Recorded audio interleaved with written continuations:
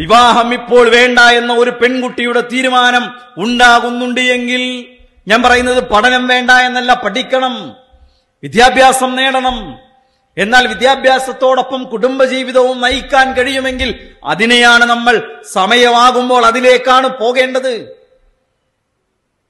വളരെ വേഗത്തിൽ വിവാഹമോചനത്തിലേക്കല്ല മനസ്സുകൾക്കിടയിൽ അകലമുണ്ടായാൽ അത് അടുപ്പിക്കാനുള്ള സംവിധാനങ്ങളുണ്ട്. പ്രവാ വിശുദ്ധ ഖുർആൻ തന്നെ പഠിപ്പിച്ച എന്തൊക്കെ വഴികളുണ്ട്?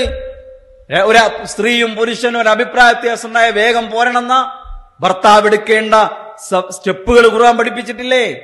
എന്നിട്ടും യോജിച്ചു പോകുന്നില്ലെങ്കിൽ അവളുടെ കുടുംബത്തിൽ നിന്നൊരു മധ്യസ്ഥനെയും അവന്റെ കുടുംബത്തിൽ നിന്നൊരു മധ്യസ്ഥനെയും ചേർത്തു വെച്ച് രമ്യമായി പരിഹരിക്കണമെന്ന് ഖുർആൻ പറഞ്ഞില്ലേ?